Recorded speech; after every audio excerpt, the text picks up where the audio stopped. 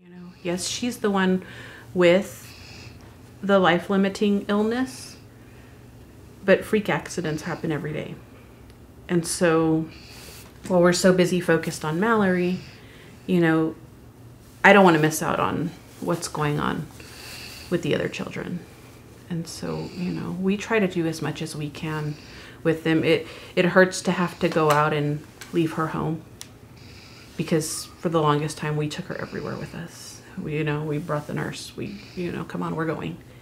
Now that she's a little bit more fragile, we don't take her out as much. She hasn't been out since Christmas. Um, and that's hard for us to do. But we have to, you know, they're they're growing too and I don't want them to feel like their life, you know, gosh, I missed all my childhood because my parents were focused on Mallory and, you know, I mean, when the, this started, they told us we had a couple of years with her. And so now we're a couple of more years than the couple of years that they gave us. So, you know, we're just taking one day at a time. And, you know, hopefully we have a lot more days left with her, but, you know, you never know.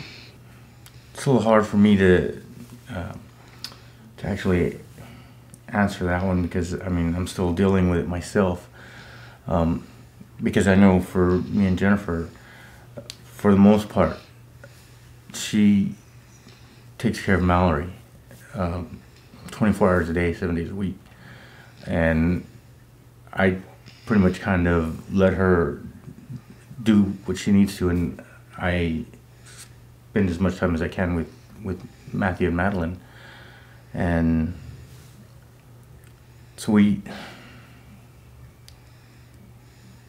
it's a, it's a hard question because we're still working through it, and I don't know if we're actually doing it correctly. You know, I mean, um, a lot of times it's me and Matthew and Madeline going and do something, and Jennifer and Mallory stay home. There's few occasions when you know it's the four of us, or when it's the five of us.